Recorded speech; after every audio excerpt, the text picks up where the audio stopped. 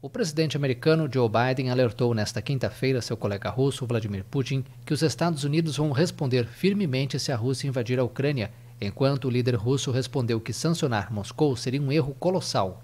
Depois do telefonema de 50 minutos, os dois presidentes elogiaram a via diplomática para sair da crise gerada pela ameaça de uma invasão russa após a mobilização maciça de tropas da Rússia na fronteira com a Ucrânia. Mas qualquer avanço diplomático passa por uma desescalada, alertou o presidente americano. Biden deixou claro que os Estados Unidos e seus aliados e sócios vão responder com firmeza se a Rússia invadir a Ucrânia. Em 2014, Moscou anexou a península da Crimeia, que pertencia à Ucrânia.